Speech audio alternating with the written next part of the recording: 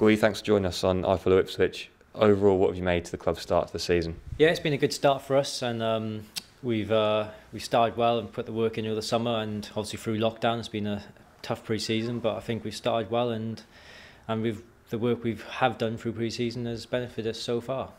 And on a personal note, how about you, sort of with your performances? Because you've been involved in a, number of games, but probably like more starts. Yeah, no, I'd, obviously I'd like to, more starts, but um, yeah, no, I didn't start the first game, but I've come on and scored, and then. Mm the games I've played in, I've I feel personally I've done well and helped the team when I've come on or when I have started. So if I can carry this on, then it'll be it'll be good for me and obviously good for the team.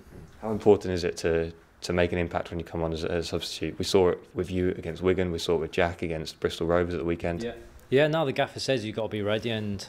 Uh, all my career, if I've been on the bench or starting, I've you've got to be ready, switched on, and ready to go when you're called upon. And as a gaffer has been saying, you've when you get that chance, you've got to take it, and I feel I did, and it's down to me now to carry on doing well and keep my place in the team. Yeah, obviously last season playing in a slightly more defensive role. So what's it been like playing further up the pitch this time around? No, it's good. It's nice to be back up there and yeah.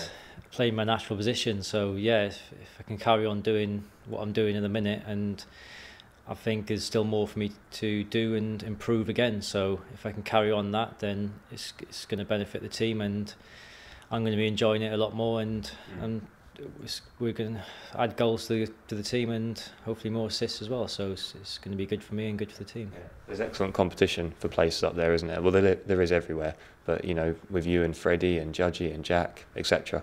Yeah, no, we've got competition right around the squad, so it's good. And maybe there, who knows, there might be one or two more coming in. You you you don't, you don't know, but now there's like I said, when you get that chance, you got to take it and it's, it's you, not every position safe now. So you've got to be performing 100% each game, each day in training. Otherwise, you're going to lose your place. Mm. So everyone wants to play, but if I can keep my place in the side, then I'll, I'll be happy.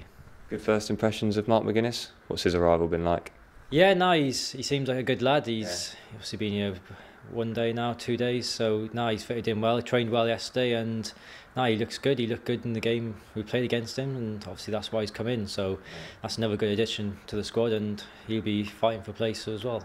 Um, Rochdale this weekend. We said to Paul earlier they've proved a little bit of a tricky customer for other teams this season. Yeah, no, I think I think they do try and play a little bit, so it'll be tricky. But now we're we're confident and we're home as well, so we're going to keep on doing what we've been doing and try and improve our game again, and and hopefully get the three points. Just on playing at home, do you feel more comfortable still playing at Portman Road despite there being no fans? Because that home advantage can sort of go away a little bit, can't it? Yeah, it can do, but it's you, you know it's such a big stadium. It's it's it's lovely to get down there and play, and mm. we were all looking forward to starting back and we are disappointed that fans aren't there, but now we've got to try and use it as our advantage still because teams will be coming and thinking like it's an amazing stadium and yeah. it's going to be tough for them anyway.